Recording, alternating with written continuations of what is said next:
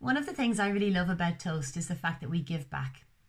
We give back through our philanthropic branch, which is called Toast.org. Over the last month, we've run an event and a campaign called Toast to the Earth. And Toast to the Earth was all about getting our employees out volunteering to help with initiatives that supported the environment and sustainability. So for us, we've had multiple events.